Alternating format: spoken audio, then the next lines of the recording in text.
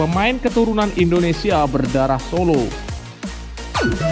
Ya, pemain keturunan Indonesia berdarah Solo Tom Haye memiliki darah campuran Indonesia Belanda. Dalam tubuh gelandang energik ini mengalir dari Solo dan Sulawesi Utara. Kakek pemain kelahiran Amsterdam pada 9 Februari 1995 itu berasal dari Solo. Dan neneknya memiliki keturunan Sulawesi. Kini Tom Haye bermain di NAC Breda di Eredivisie Belanda. Selama 26 tahun menjadi warga Belanda, Tom Haye yang berusia 26 tahun belum pernah membela timnas Belanda senior. Ini membuka peluang Tom Haye direkrut timnas Indonesia, andai saja tidak dipanggil oleh timnas Belanda. Sebelumnya Tom Haye hanya bermain di timnas Belanda junior. Sebelum di NAC Breda, Tom Haye pernah bermain di Serie A Liga Italia pada tahun 2019. Dia bermain di Lecce. Tom Haye membantu Lecce promosi ke Serie A Italia pada tahun 2019. Kepiawaiannya memainkan bola membuat pemain bernomor punggung 33 di NAC Breda itu dipanggil The Professor.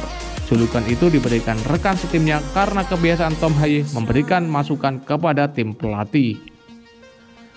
Ya, dengan tinggi 177 cm, Tom Haye kokoh dalam memainkan peran sebagai gelandang bertahan.